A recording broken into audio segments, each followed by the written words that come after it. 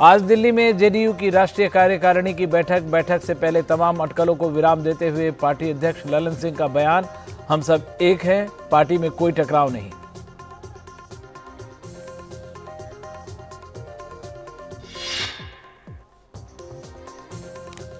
अनुच्छेद 370 पर फैसला देने वाले जस्टिस संजय किशन कौल ने कहा, एनडीटीवी से कहा, कश्मीर में बीते हुए कुछ दशकों में जो हुआ, उस पर माफ़ कर आगे बढ़ना होगा।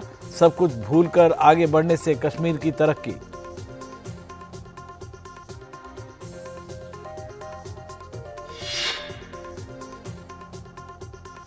पहली बार महिला के हाथ सीआईएसएफ की कमान, नीना सिंह बनी। सीआईएसएफ की पहली महिला डीजी उन्नीस सौ नवासी बैच की राजस्थान कैडर की आईपीएस अधिकारी है नीना सिंह।